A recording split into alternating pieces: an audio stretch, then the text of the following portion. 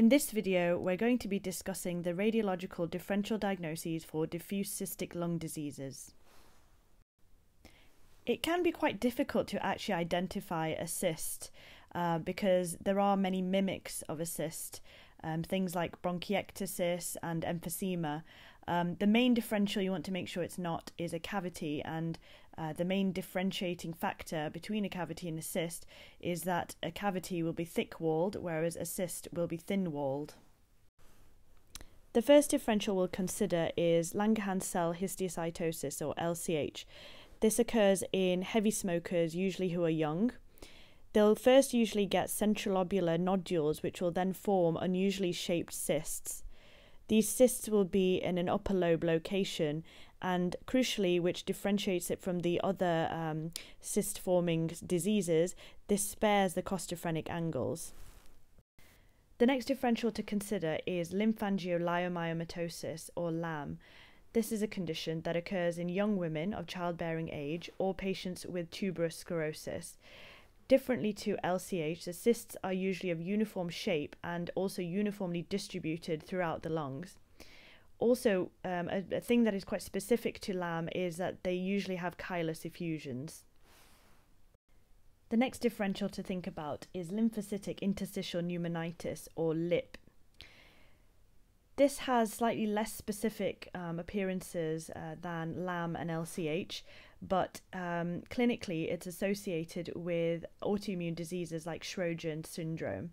You can also get ground glass change and reticular nodular opacification with this disease. The other thing to remember when you see um, cysts in the lungs is to make sure that it's not a pneumatocele. So you can get traumatic pneumatoceles and you can also get pneumatoceles in PCP. In PCP, you'll see bihilar ground glass change and reticular nodular opacification, and you'll see the pneumatoceles in uh, the upper lobes.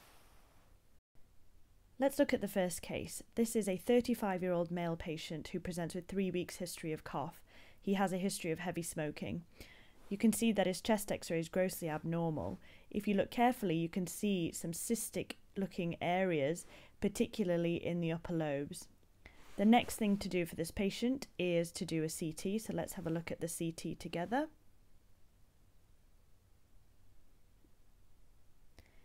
If we pause on this particular slice, you can see that there are um, bilateral thin-walled cysts which have unusual sort of bizarre shaped um, also, you can see that they're mostly in the upper and mid zones, and crucially, the costophrenic angles are actually spared.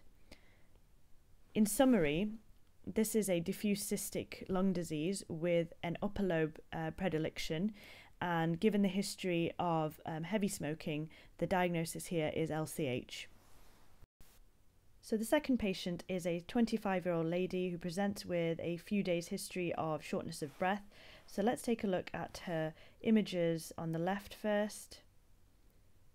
So if we just stop on this particular slice, you can see that there are multiple cysts which are distributed throughout the lung uh, with no particular predilection.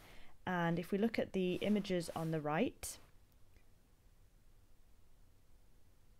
and if we just stop there, we can see that there is a moderate sized left pleural effusion, which um, turned out to be a chylous effusion, and this is a patient with LAM.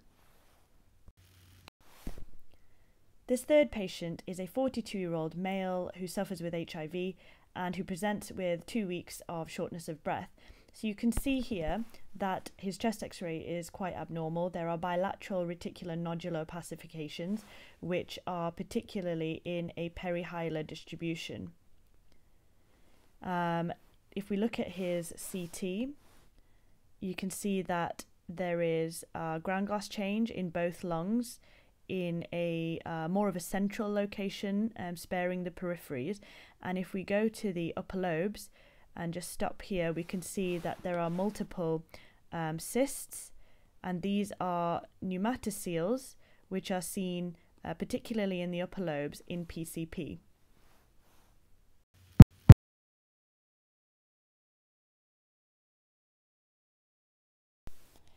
The last patient is a 38 year old lady who presents with a few weeks' history of cough and shortness of breath. You can see her chest x ray here on the left is abnormal, with multiple nodular opacities seen in both lungs. If we take a look at the single slice from her CT chest, you can see that there are bilateral thin walled cysts, particularly in the upper lobes.